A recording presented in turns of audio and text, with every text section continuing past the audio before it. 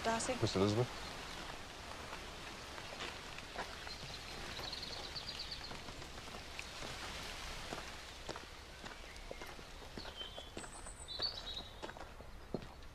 I'm afraid Mr. and Mrs. Collins have gone on business to the village.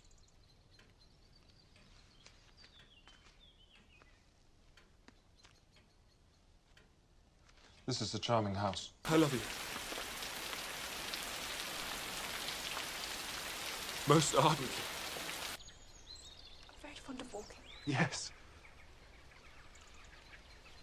Yes, I know. If, however, your feelings have changed,